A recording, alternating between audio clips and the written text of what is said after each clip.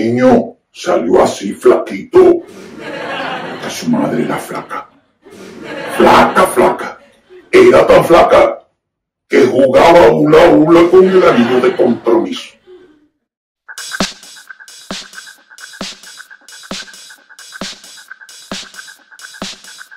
Se le acerca el niño al padre y le dice, papá, tengo otra tarea de la escuela. Dice el niño, el padre, venga, dígame. Dice el niño, papá, ¿cuál es el rey de los? Dice el papá, eso es sencillo. El rey de los virus es el coronavirus.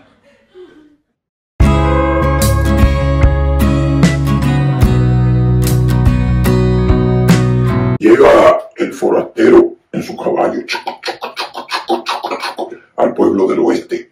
Se baja del caballo y llega donde, donde hay un viejito, allí en un portal, y le dice, ¿dónde queda la calle mayor? Dice el viejito, la próxima que viene. Se lo, entonces me apuesto aquí y espero a que llegue. Se le acerca otra vez el niño al padre y le dice, papá, esto es otra tarea de la escuela. A ver, mijo, pregúntele a su padre. A ver, papá, ¿cuál es la única letra que se come? Dice el viejo, eso es fácil. La única letra latina que se come es la gelatina.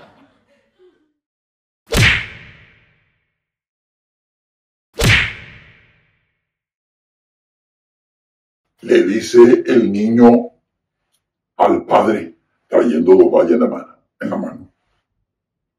Papá, ¿qué le dice una valla a la otra valla? Dice el viejo, una valla a la otra valla. Le dice, vaya.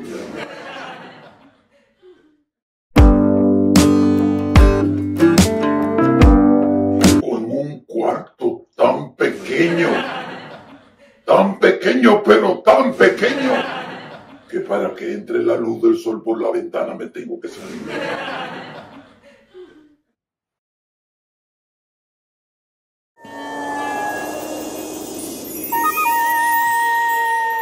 Dice el niño, esto es una tarea de la escuela, papá. Quiero saber, y que tú me digas que eres mi padre, ¿cuál es el hombre que piensa más profundo? Dice el papá, fácil, hijo, el minero.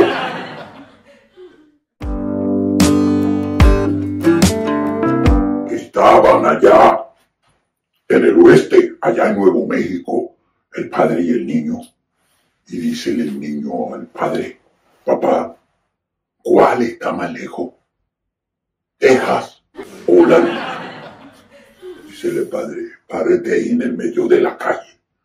El niño se paró en el medio de la calle. Tú puedes ver desde ahí a Texas. Dice el niño, no papá. Dice, ¿y puede ver a la luna? Dice el niño, sí papá. Ahí está la respuesta. Más cerca está la luna que la puede ver. Ella ni siquiera la puede ver.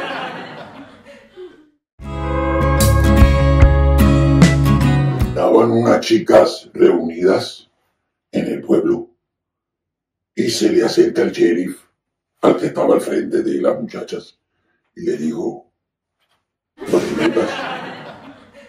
Dice el tipo, no, sustitutas. No, amigo, usted está equivocado. No se dice sustituta, se dice prostituta. No, las prostitutas son mi mamá, mi hermana, mi tía y mi abuela. Estas son las sustitutas porque ellas se fueron de viaje. Están de vacaciones.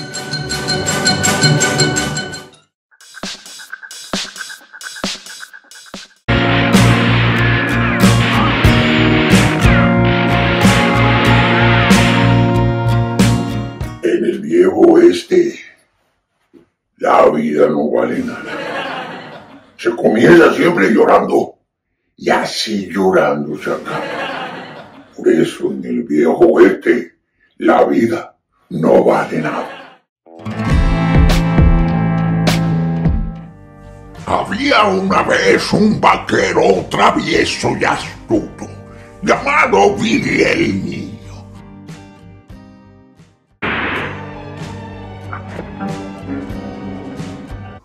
era un niño, solo era joven, de corazón. Siempre llevaba consigo su sombrero de vaquero. Ven, ahí están. Vinieron a buscarme para batir. Son muchos, pero no tengo miedo. Porque yo traje mi, mi batidora, porque a mí me gusta el batido de chocolate. Y ahora mismo me lo voy a batir. Con permiso, ahí lo dejo. Que había heredado de su bisabuelo y le daba superpoderes vaqueros. Un día vi el niño. Estaba montando en su caballo. Pancho se llamaba. Cuando se topó con el sheriff más torpe del lejano oeste. El sheriff dormilón. El sheriff dormilón estaba durmiendo en su caballo y chocó directamente con un cactus. Se llenó todo de espina hasta el cucunclán. Y el niño no pudo evitar reírse y decidió darle un poco de ayuda y le dijo, ¡Hey, sheriff! Sheriff, deberías cambiar de caballo por un burro. Podrías llamarlo Don Milón Jr. Le dice el médico al viejito de 90 años que va a su consulta. Y viejo, dígame, ¿cómo va su vida sexual? Dice, viejo, mi vida sexual va de maravilla. Dice el doctor afrodisíaco. Dice el viejito, no, la malla de mi mujer. ¿La malla? Dice el doctor. ¿Ustedes hacen juegos sexuales? No, es una malla eléctrica. Y cuando estamos en el sexo ella me la tira y cuando me coge la corriente me pongo es un animal.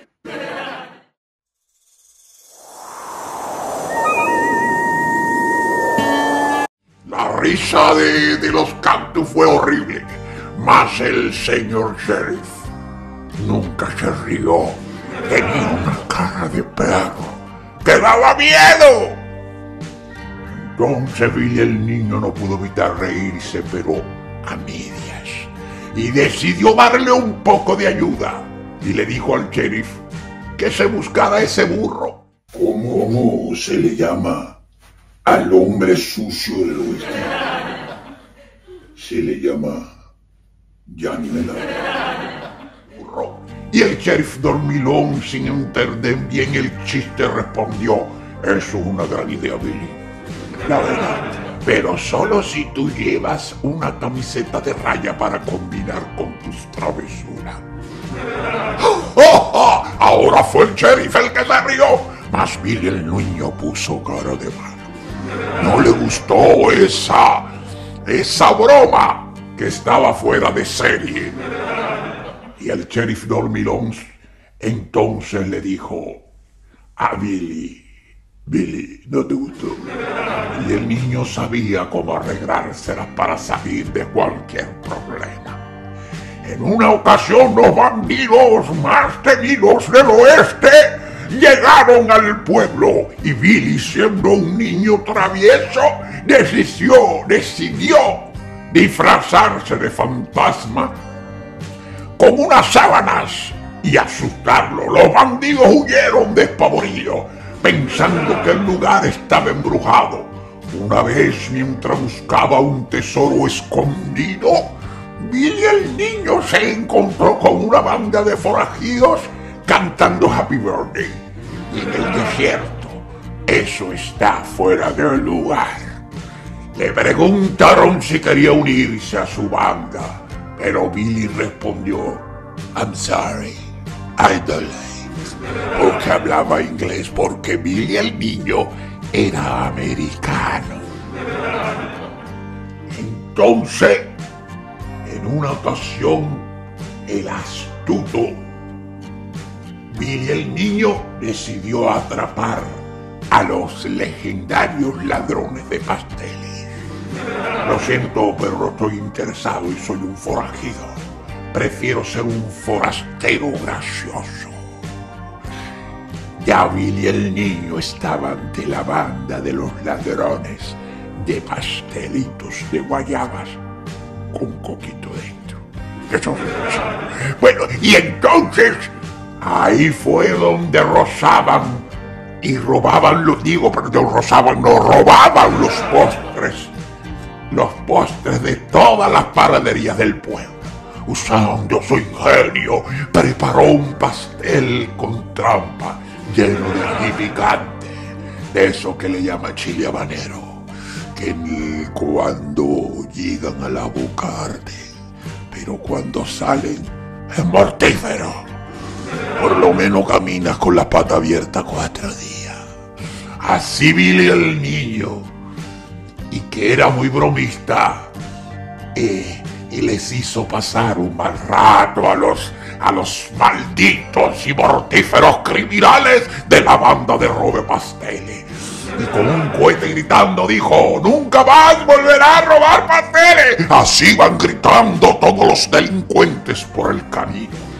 Así el niño vivía sus divertidas y alocadas aventuras en el lejano oeste, dejando una estela de risas, sonrisas a su paso la leyenda se extendió por todo el país como el vaquero más chistoso y adorable del oeste. Y así fue cobrando fama y fama Billy el niño. Decían que era un asesino, pero no. Era un bromista y sus bromas hacían que los criminales corrieran despavoridos. Fue ganando fama y ganando fama en el próximo capítulo les seguiré la historia de Billy el Niño, del mortífero vaquero del oeste.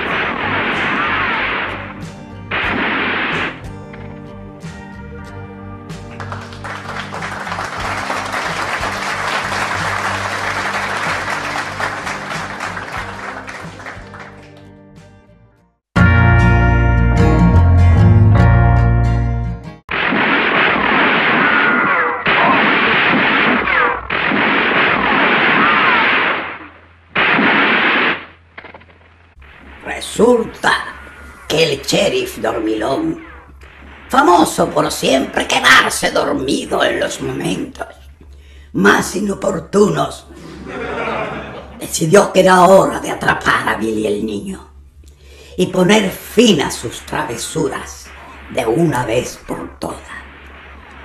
Para capturar al escurridizo Billy, el sheriff ideó un plan digno de un cómics decidió preparar una trampa utilizando enormes lazos para atrapar al niño travieso. Pero en lugar de ponerlos en el suelo, los colocó en el aire, igual que una telaraña gigante en el bosque. Cuando Billy el niño entró en el bosque, quedó completamente atrapado en los lazos suspendidos en el aire. Fue tan cómico verlo balanceándose de un lado a otro como un murciélago, intentando liberarse mientras gritaba, mientras gritaba. ¡Help! ¡Help! ¡Help! Así gritan los americanos cuando están en peligro. Necesitaba hacer un plan vaquero de esos que estaba acostumbrado Billy, el sheriff dormilón, quien casualmente estaba dormido debajo de un árbol cercano, fue despertado por los gritos de Billy. ¡Help! ¡Help! Se despertó de un brinco y sin saber bien eh, eh, lo que sucedía, tomó su pistola de agua y apuntó al cielo creyendo que los lazos eran serpientes gigantes y empezó a disparar y a disparar agua, chorros de agua, actuando bajo la impresión de que estaban combatiendo con serpientes malvadas, el sheriff comenzó a, a disparar chorros y más chorros de diestra a siniestra. Pero para sorpresa, sus disparos dieron en el blanco. Y los lazos se rompieron. Billy el niño cayó al suelo completamente empapado en agua, pero feliz de estar libre. El sheriff, al darse cuenta de su hazaña y de que había capturado a Billy el niño por accidente, pero bueno, eso no cuenta, la cuestión es que lo capturó. Ah, ok, vaya, dijo, soy un héroe, acabo de atrapar a Billy el niño. Él hablaba así, porque también el sheriff era maloso. Pensó, pensaba que aquella serpiente mutante era un gigante. Y, y le dijo a Billy, lo siento Billy, pero ahora tengo que llevarte a la cárcel. Billy el niño se levantó riendo completamente mojado, pero ileso. ¡Oh, oh, oh, Está bien, sheriff. Dormilón. A veces la caza de vaqueros travieso puede ser peligrosa y mojada. Llévame a la cárcel, pero espero que allí tengas una cama cómoda para dormir.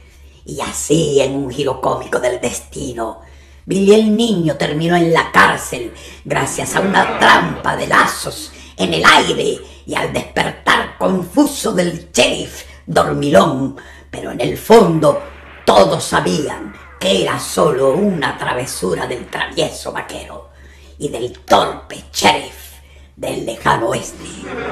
Fin de esta loca y divertida historia. ¿Será verdad que murió allí Billy el niño? Espera el próximo capítulo.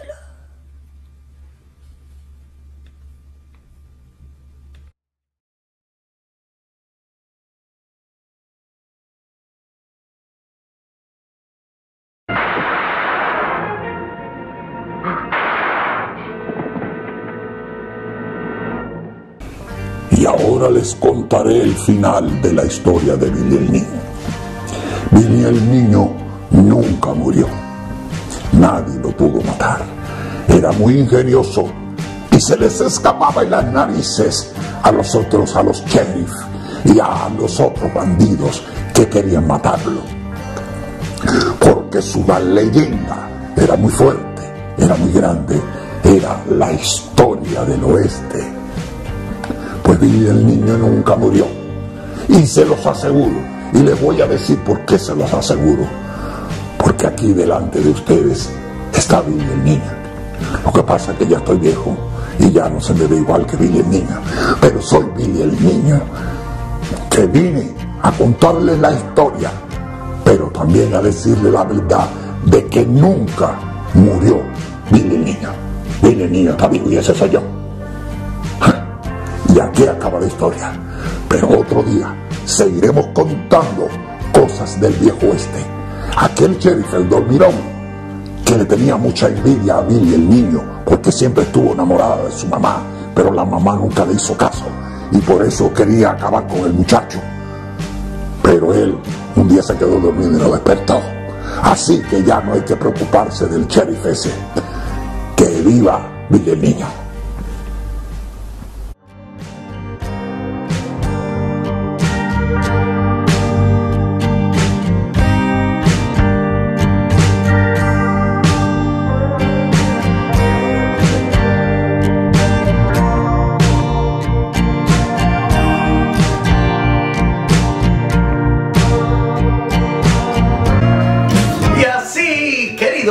Nos despedimos de este show. Su amigo, yo, Cani, Cani Show y mi hermano gemelo, Lorenzo. Hasta la próxima, hasta la próxima.